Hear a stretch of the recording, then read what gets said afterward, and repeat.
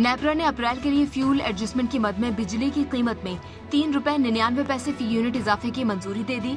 Central power purchasing agency ने F की मद में चार रुपए पाँच पैसे फ़ी यूनिट इजाफे की दरख्वास्त की थी। इजाफे का इतलाक डिस्कोस के तमाम सारिफिन, माँ सिवाय लाइफ लाइन सारिफिन आरोप सिर्फ़ एक माह के लिए होगा। इतलाक के इलेक्ट्रिक सारिफिन पर नहीं होगा।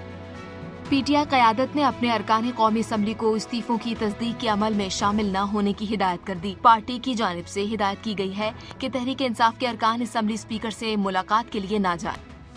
मुल्क में तोानाई का बहरान शिद्दत इख्तियार कर गया। बिजली का शॉर्टफॉल सात हज़ार मेगावाट से तजावज कर गया।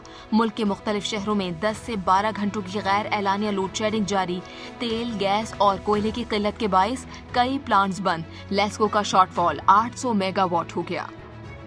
कलदम तहरीक तालिबान पाकिस्तान टीटीपी ने गैर मुना मुद्दत के लिए जंग बंदी कर दी। टीटीपी की जंग बंदी की मुद्दत 30 मई को खत्म हो गई थी। जंग बंदी काबुल में पाकिस्तानी वफद और कलदम टीटीपी के दरमियान मुजाकरात के बाद हुई थी।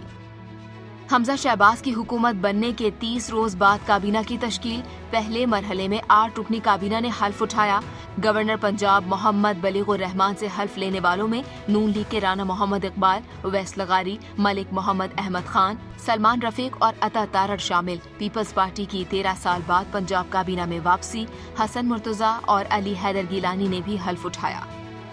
इमरान खान ने अपने पुरअमन मार्च के शुरा के पास असलहे की मौजूदगी का एतराफ कर लिया। इंटरव्यू में कहा कि उन्होंने देख लिया था कि उनके कारकुनों के पास असलाहा भी है।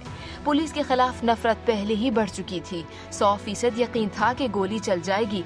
वज़ीर अला खैबर पख्तूनख्वा महमूद खान ने अगले लॉन्ग मार्च में विफाक के खिलाफ खैबर पख्तूनख्वा की फोर्स इस्तेमाल करने की धमकी दे डाली। कहा, इमरान खान, दोबारा लॉन्ग मार्च का हुक्म दे तो खैबर पख्तूनख्वा की पुलिस फोर्स इस्तेमाल करूँगा। विफाकी वज़ीर इतलात मरियम औरंगज़ेब ने कहा कि इमरान खान डी चौक के भगोड़े हैं। Fall of Imran in D Chowk हो चुका। आयन चिकन और अदलिया की तोहिन के मुजरिम सुप्रीम कोर्ट से किस मुँह से और क्या मांग रहे हैं? अदालती कंधा इस्तेमाल करने की मजमूम साजिश भी फितना फसाद मार्च की तरह नाकाम होगी। हमें मालूम था कि तहरीक इंसाफ के कारकुनों के पास सिर्फ़ पिस्टल नहीं, बाकायदा ऑटोमेटिक असलाहा था। असलाहा साथ लेकर आने की हिदायत खुद इमरान खान ने की थी।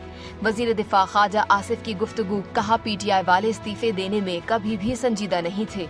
उन्होंने इस्तीफे दिए हैं तो जाकर मंजूर कराएँ। आज भी पिचासी पार्लियामेंट लॉजेस पर कब्जा कर कर बैठे हैं। मुल्तान से कराची जाने वाली जक्रिया एक्सप्रेस में खातून से मुबैना इज्तमाही ज्यादती। पुलिस ने मुकदमे में नामजद दो मुलजिमान, एक नामालूम शख्स को गिरफ़्तार कर लिया।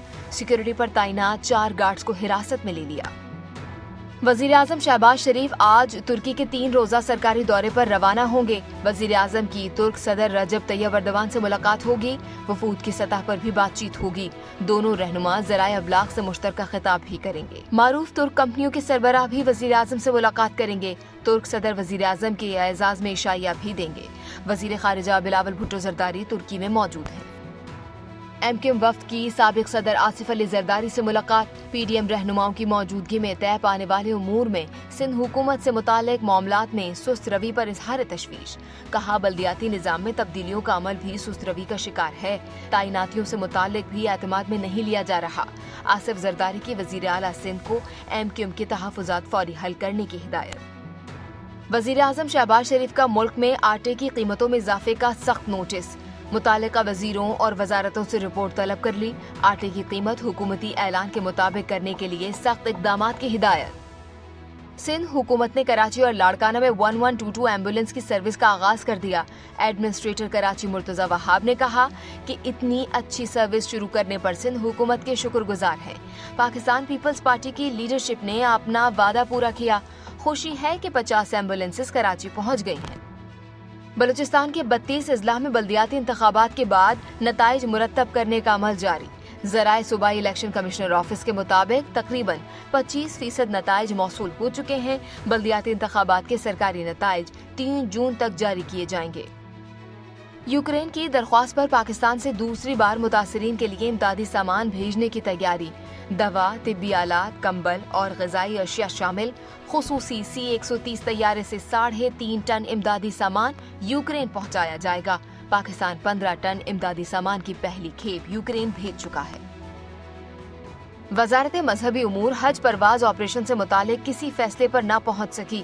पॉलिसी का ऐलान मौखर, आजमीन को हज पैकेज या अखराज की तफसीत भी ताहाल नहीं बताई गई सेक्रेटरी मजहबी उमूर आफ्ताब अकबर दुरानी का कहना है कि पहली हज परवाज पाँच और छह जून की दरमियानी शब इस्लामाबाद से रवाना होगी। पाकिस्तान समेत दुनिया भर से पैंसठ बरस या इससे जायद उम्र के अफराद पर रवा बरस हज की अदायगी पर पाबंदी है।